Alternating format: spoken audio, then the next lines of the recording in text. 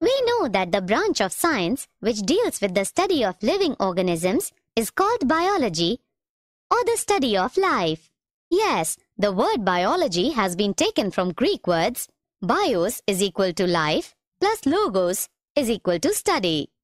Things which depict growth, reproduction, ability to sense environment, and mount a suitable response are called living things.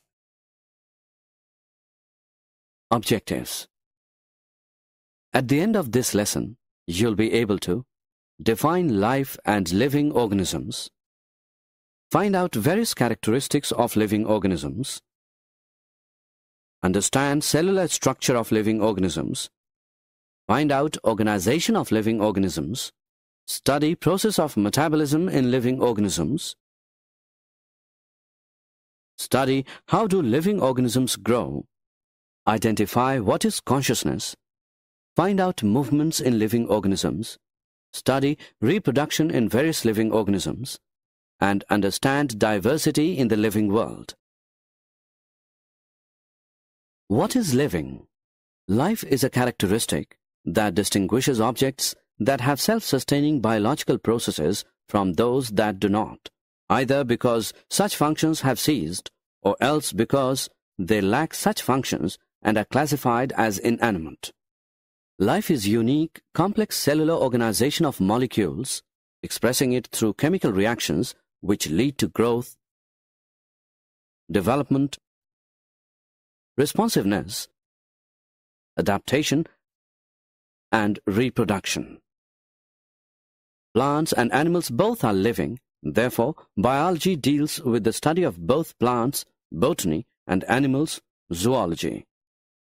Virus is intermittent link between living and non-living. Viruses consist of only a protein coat and an inner core of nucleic acid. Viruses can reproduce only inside living cells. Viruses can be crystallized and kept in a bottle for years and still infect their host cells. Characters of living organisms An organism is any living system. Example, animal, plant, fungus, or microorganism. All the living things are called organisms. All living organisms share following basic characteristics. Cellular structure, organization, energy, homeostasis, metabolism, growth, consciousness, movements, variations, adaptations, reproduction, irritability, evolution, interactions, emergent properties, lifespan and life cycle, and death. Characters of living organisms Cellular structure Each living being has a distinct individuality. It can be broken into two or more independent parts. The body of a living being is made of one or more cells. Cells are considered to be structural and functional unit of life. The cells are made of protoplasm or living matter. All the body functions and properties of life are due to protoplasm.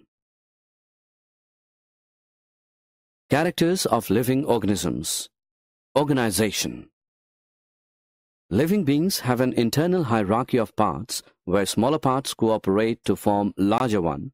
The larger ones a still larger part, while all the still larger parts are organized to form the individual. Because of this organization, Living beings are also called organisms. Characters of living organisms Energy Living being constantly requires energy not only to perform various activities of the body, but also to overcome entropy or tendency of randomness. The source of energy is food. It is required by every cell of the body. Characters of living organisms Homeostasis Homeostasis is the property of a system, either open or closed, that regulates its internal environment and tends to maintain a stable, constant condition. Or we can say that, as external environment do not have much impact on the internal environment, as the living beings have a self-regulated system to adjust and maintain the internal environment. The phenomenon is called homeostasis.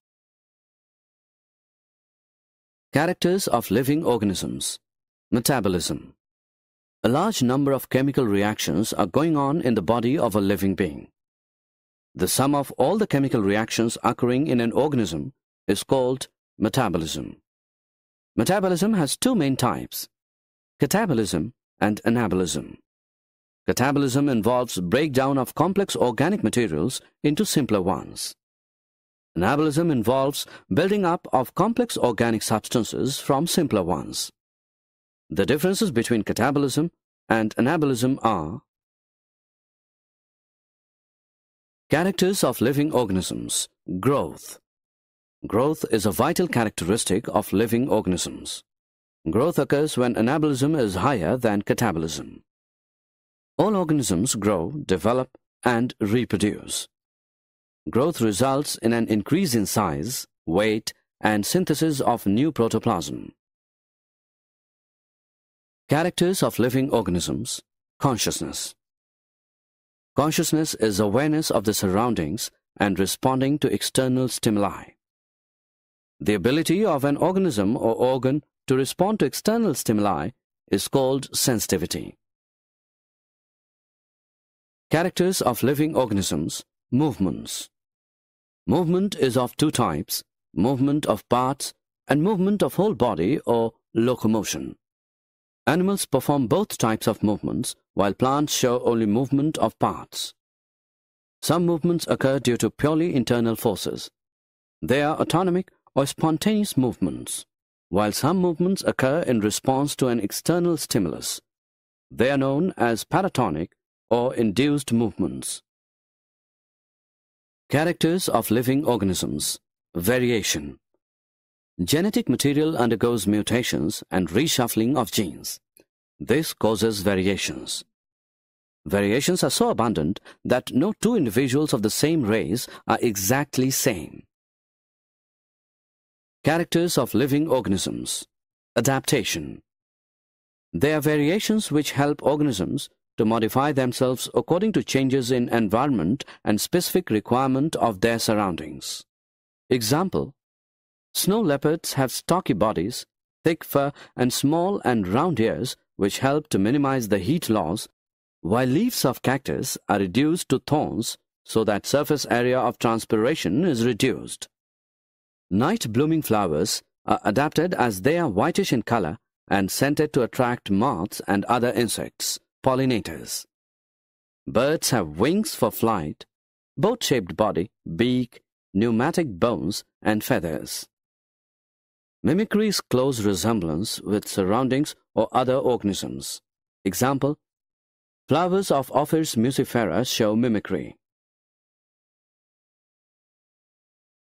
Characters of living organisms. Reproduction. Young ones grow and become mature. They develop the faculty to produce young ones of their own type. Life comes from pre-existing life. Characters of living organisms. Coordination. Different parts of the body of a living being cooperate with one another for the functioning of the whole. Example. Heart pumps blood to all parts of the body. Lungs provide oxygen. Digestive system, nutrients, nerves and hormones, information, muscles, movements, bones, support, etc. Characters of living organisms. Irritability. Irritability is the faculty of responding to a stimulus. It is the property of protoplasm and is shown by all organisms, both plants and animals. Animals show quick response to a stimulus because they possess nervous system. Plants show slow response. Example, bending of shoot towards light. Characters of living organisms. Evolution. Evolution is formation of new species from the pre-existing ones. Evolution occurs due to accumulation of variations. Characters of living organisms. Interaction. Interactions occur among the levels of organization within organisms and between organisms and their external environments. The levels of interaction between organisms and their environment are those of populations, communities, ecosystems, and the biosphere. Characters of living organisms Emergent properties The appearance of new characteristics at a given level of organization is called emergence. Characters of living organisms Life cycle each individual passes through a definite life cycle of birth, growth, maturation, reproduction, aging, and death. This is completed in a definite lifespan ranging from one day to several years. Characters of living organisms Death After a period of time, each living being dies. Death occurs naturally due to wear and tear. Diversity in the living world. The biodiversity is the number and types of organisms present on the earth. Every organism, whether plant or animal, is unique in itself. There is a wide diversity in the flora, plants, and fauna animals in the world. The diversity we see today is the result of 3.5 billion years of organic evolution. During the course of this evolution, several species vanished from the surface of the earth and become extinct. With such a vast number of organisms, both living and extinct, it becomes impossible to study every one of them at individual level. Did you know? Huxley in 1868 said protoplasm is the physical basis of life. Lamarck in 1809 said Nobody can have life if its constituent parts are not cellular. Trembley was first to study regeneration in Hydra. Summary Let us summarize what we have learned. In the world, there are two types of structures, living and non-living. Living world has vast range of variety. Living organisms and many non-living things share three properties complexity, movement, and response to stimulation. The virus is a lifeless particle by itself, but it becomes active and multiplies rapidly inside a living cell. The smallest unit of life is cell. While the highest level of biological organization is biosphere, living beings are complex entities.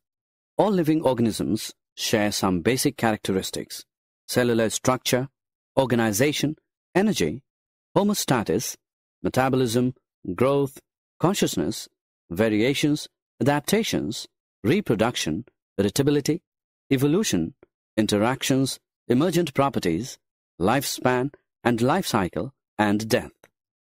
Homeostasis is maintenance of favorable internal environment of living beings. Changes in structure and function of every living beings with age are called development. Growth, development, and functioning of living body is due to metabolism. A living organism can be differentiated from a non-living thing on the basis of its ability for reproduction. Night-blooming flowers are adapted as they are whitish in color and scented to attract moths and other insects, pollinators. Birds have wings for flight, boat-shaped body, beak, pneumatic bones and feathers. Mimicry is close resemblance with surroundings and other organisms. Example, flowers of Ophrys muscifera show mimicry. Living organisms interact and function with each other at many different levels. These different levels are cellular, organizational,